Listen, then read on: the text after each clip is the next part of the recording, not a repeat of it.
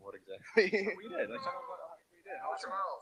Okay, well, uh, it's the, the logo with, uh, some addressable LEDs. Uh, so it, uh, it comes on and then it starts evolving. So there's, uh, the, there's eight, uh, base pairs there that will just kind of change periodically if you watch them. Uh, nice little animation thing we decided to do. It is so pretty. It's awesome. Just one of the shows off before the keynote there, so pretty awesome. Yeah. We'll show it off more after. And we'll have a new design uh, for this year as well. So